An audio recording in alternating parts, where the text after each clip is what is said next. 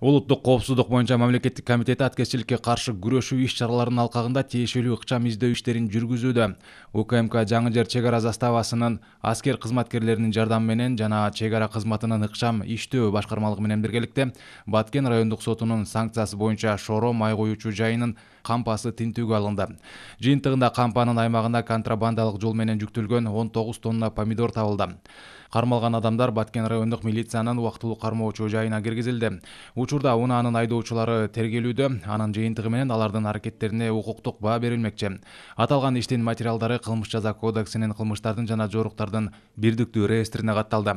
Учурда бул иш боюнча фактылык жагдайларды жана бул ишке катышкан адамдарды аныктоого багытталган ыкчам тергөө иш чаралары жүрүп жатат